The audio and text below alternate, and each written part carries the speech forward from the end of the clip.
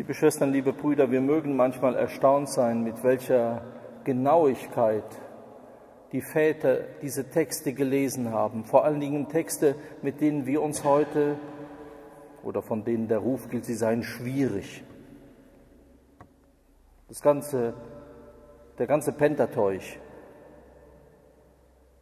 dieses schwierige Buch der Landnahme etwa oder hier des Exodus. Sehr sorgfältig haben die Väter jede Regung und alles genau beobachtet. Man merkt das noch bei, in diesem Zusammenhang bei den jüngeren Vätern, etwa Bernhard von Clairvaux, der an seinen ehemaligen Schüler, an Papst Eugen in der Schrift De Consideratione schreibt, Gib acht, dass du kein verhärtetes Herz hast. Wenn du jetzt fragst, was das ist, dann geh hin und frag den Pharao.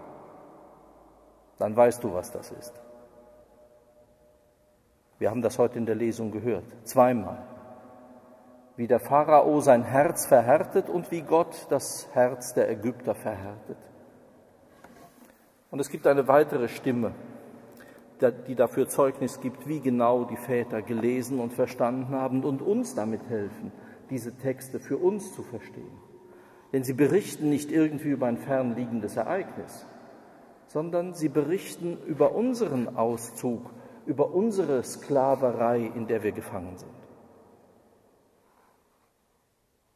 Jene, so sagt Maximus der Bekenner, jene, die noch im Kampf gegen die Leidenschaften feige sind und den Angriff der unsichtbaren Feinde fürchten, sollen schweigen. Das heißt, sie sollen sich nicht ein Verhalten zur Verteidigung der Tugend zu eigen machen, vielmehr sollen sie durch das Gebet Gott die Sorge für sich überlassen. Zu ihnen wird im Buch Exodus gesagt, der Herr wird für euch streiten und ihr sollt schweigen. So heißt es in einem Textzeugnis des hebräischen Textes, der von unserer Lesung etwas abweicht. Der Herr wird für euch streiten. Was tun wir uns manchmal nicht alles Mögliche an, angesichts feindlicher Angriffe, die uns in Unruhe stürzen, die uns schlaflose Nächte bereiten, die uns immer wieder sozusagen im Kampf halten, in dieser Unruhe halten. Es ist schön, dass die Väter das so sagen. Zu ihnen, zu uns sagt das Buch Exodus, der Herr wird für dich streiten und du sollst schweigen.